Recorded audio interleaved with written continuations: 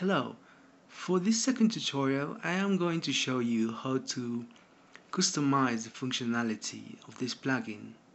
For that, create a folder called Actor Components and inside this folder create um, an actor component called BPC dummy. We are going to use this actor component just to save a variable. So open the component and create a variable called name. And the type will be string and the value will be default.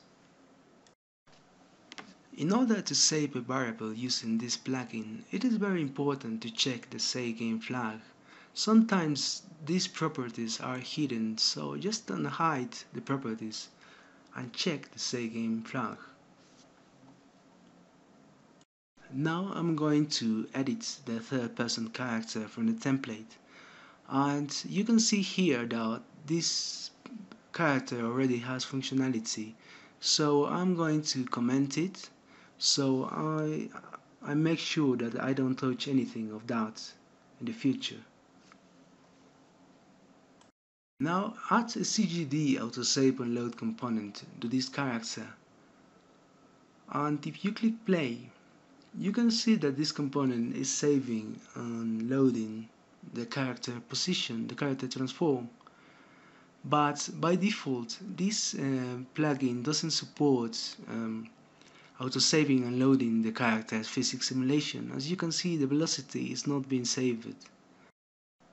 This happens because the physics simulation state of a character is stored inside a special component called character movement component and if you want to save this um, custom data you must uh, customize the functionality of the plugin.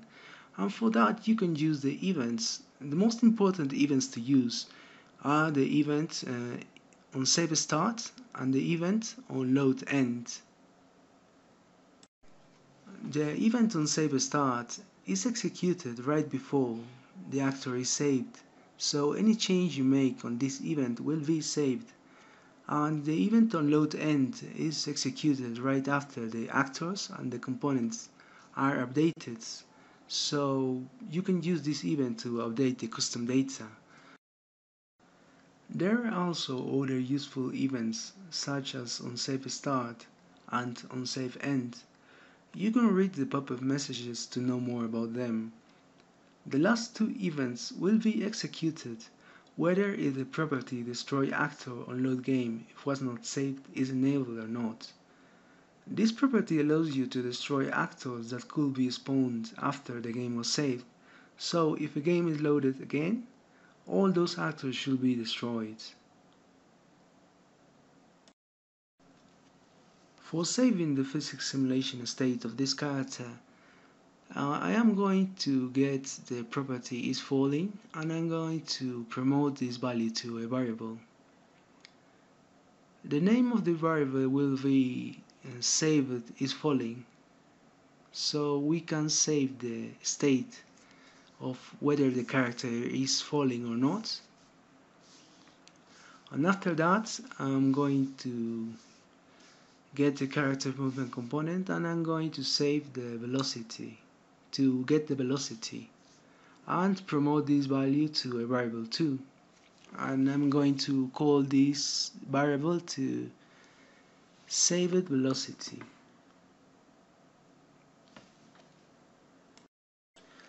Now as I saved these two values inside the event on save start I should restore the data from these values. So on load end I am going to get the values I am saving. So I'm going to bring the branch save this falling.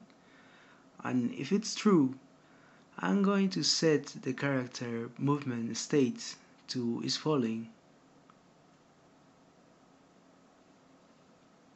Set movement mode to falling. So if it's true the movement state will be falling when the loads uh, end. So I'm going to do the same thing with the velocity. I'm going to set the velocity and set it to the saved velocity. And this is the process of saving and loading custom data using this plugin. And you can see this is a pretty much a straightforward process. You can save any custom property using this method. So if we test it right now at this point it appears that the physics simulation state of the character is being saved and loaded. But if I close the game and I open it it will not work. And this is because um, the variables I, I saved saved is falling on saved velocity doesn't have the save game property checked. So let's check these properties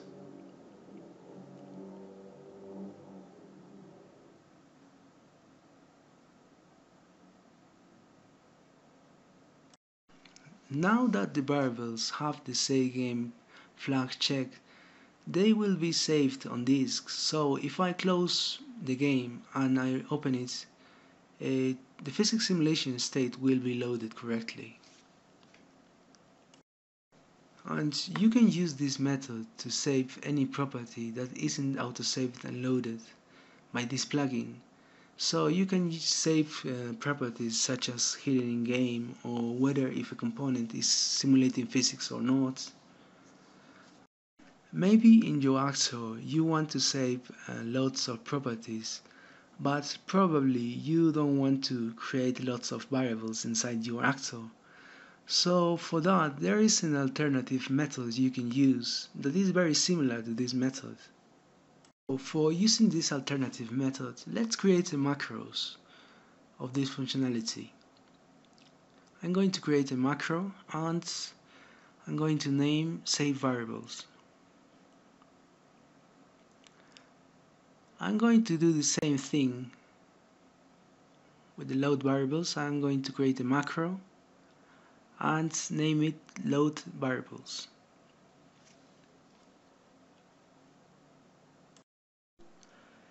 Now, inside the save variables macros, instead of using a variable uh, created within the actor, I am going to use the CGD autosave and load component to save and load our variables. So grab the CGD autosave and load component and instead of using set, set save this falling I'm going to call the function set saved variables. Using this function you can save any variable you want and in this case I am going to save a boolean and a vector. So I'm going to execute the function and for saving is falling I'm going to make an array of the booleans to save. It is very important to remember the index you are using for saving your variables. So in this case, I am saving is falling in the index 0 of the booleans to save and velocity in the index 0 of vectors to save.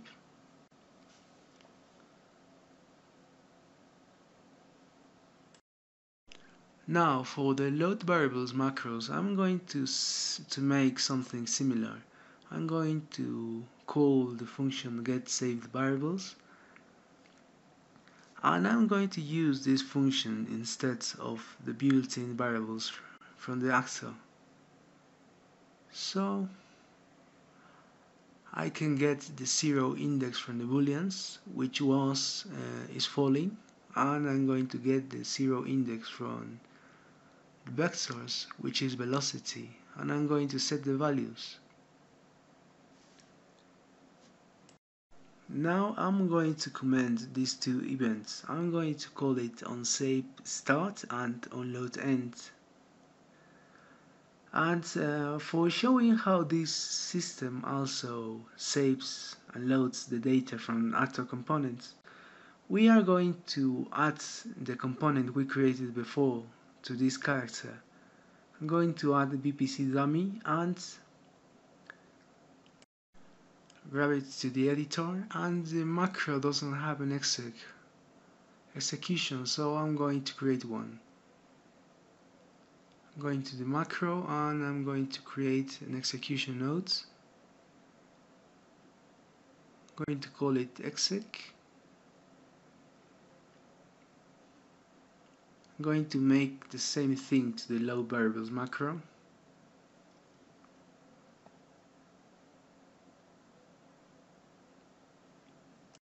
On save start, I am going to change the value of the name of this actor component. It was default when we created before, so I'm going to call it new value. On load end, I am going to print this value so we can see if this uh, actor component is being saved or not.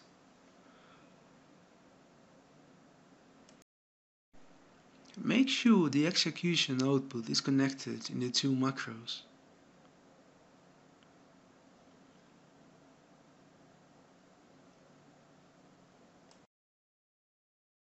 By the way, there is an error here in the load variables macros, so instead of using this approach, we are going to use the sequence for keeping things more, more clean. So we are going to execute first uh, we are going to set the movement mode first and then we are going to set the velocity. And finally create a new pin and execute the output. If we test it we can save the game and the value will be changed to new value and if I close and open the game the value will be new value. So it is saving the actor component. So I'm going to delete the save game file.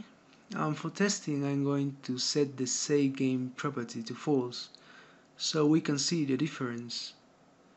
So right now if I close the game and I open it the value will not be saved. So I'm going to check the save game back to true the component should be saving and loading now. And it's working.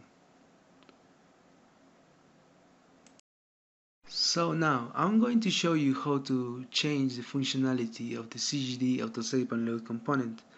As you can see, by default this component saves all the components from this actor. It saves the location, rotation, scale. And you can see that you can change the functionality from a specific components so we are going to um, not save the BPC dummy. So if I write BPC dummy here and I set save components to false the BPC dummy component actor component will not be saved. So we can see it is not being saved Let's make the same thing with the capsule component. So I'm going to write capsule component and I'm going to set save components to false. So right now it should not be saving and loading the transform of this actor.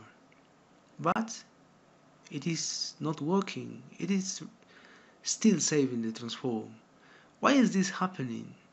Well, because uh, when the components are inherited, the names are not the same as the ones they are shown right there. So to make sure that you're using the correct name, there are two ways to make sure. You can grab the component and you can't print the name. So grab the component and write object name and print, print this name so you can be sure that you're using the name of this component. So I'm going to print the object name of the capsule, of the capsule components. And when I click play we can see that the name is collision cylinder. The second way to get the real name of a component is to copy the component into a text. So you will see a real weird text but in the top you will be able to see the name of the component in this case is collision cylinder. But don't rely on this method because with uh, some components the name is not uh, correct. So for example the BPC dummy will have the name BPC dummy gen variable. So I think the best method to get the real name is using object name and printed. Now I'm going to change the name of the capsule component to its real name. So if I click play and save and load the game, the transform will not be saved. What is being saved now is the uh, physics simulation state for the functionality we made before.